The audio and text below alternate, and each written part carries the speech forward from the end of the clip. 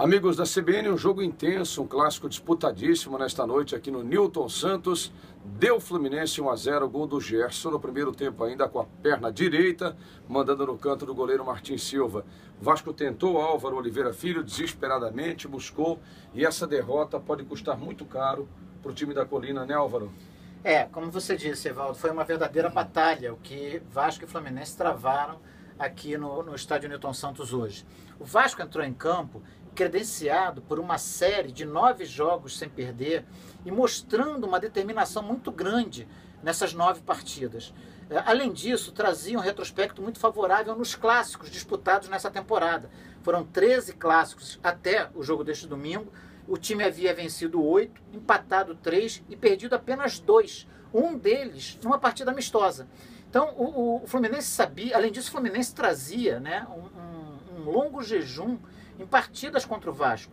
Um jejum que já durava 10 jogos. Nos últimos 10, nas últimas 10 vezes em que essas duas equipes se enfrentaram, o Vasco tinha vencido 7 e empatado 3. O Fluminense não vencia desde 2012.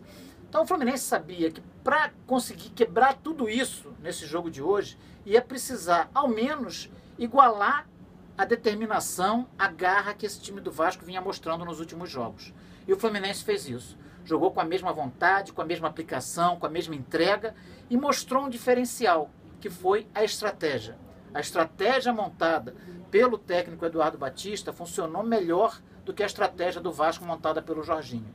O Eduardo Batista, primeiro, tirou o Wellington Silva da lateral direita e o colocou na lateral esquerda, inibindo as jogadas, uma das jogadas mais fortes do Vasco, que são as subidas do Madison ali por aquele setor. O Madison hoje praticamente não atacou. Fez o mesmo do lado, de, do lado esquerdo do, do, da defesa do Vasco, colocando o Oswaldo em cima do Júlio César. E reforçou a frente da zaga com a, a presença do Pierre ao lado do Cícero. O Fluminense tinha um meio-campo congestionado, não dava opção de jogada pelas laterais. O Vasco teve muita dificuldade para chegar até a área adversária, mas o Fluminense também criava pouco. A verdade é que no primeiro tempo, embora os dois times tenham é, é, buscado muito o ataque, foram poucas as oportunidades de gol.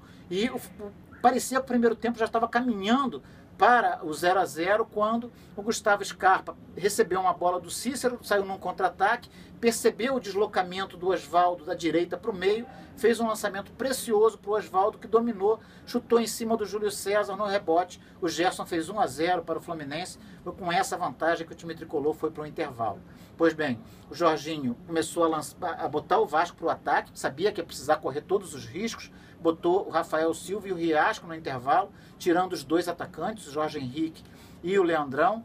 Uh, só que o Vasco não conseguia ameaçar o time do Fluminense. Tinha mais posse de bola, o Fluminense recuando, esperando a chance do contra-ataque. Gustavo Scarpa de cabeça quase fez o segundo gol num cruzamento da direita do, do Vinícius.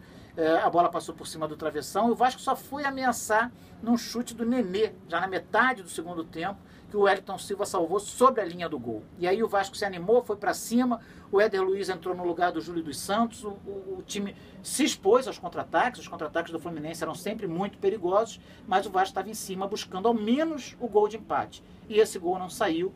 No finalzinho, o Wellington Silva ainda teve a chance do segundo gol, num lance em que o Martin Silva tinha ido para a área para tentar a cabeçada num escanteio, o Fluminense saiu no contra-ataque e o Wellington Silva chutou por cima do travessão, isso com 50 minutos.